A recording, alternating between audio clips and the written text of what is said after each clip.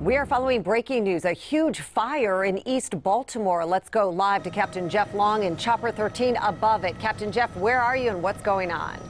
We are just north of Patterson Park. This is Lakewood at Mulberry, and you can see that two row homes are completely engulfed right now.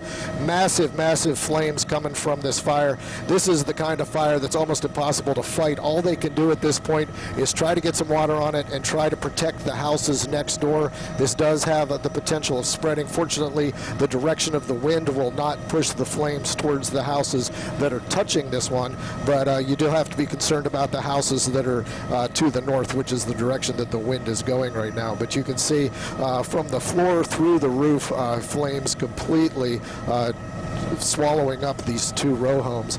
And uh, it actually might be three. Now, so uh, we get a better look there as the smoke moves away.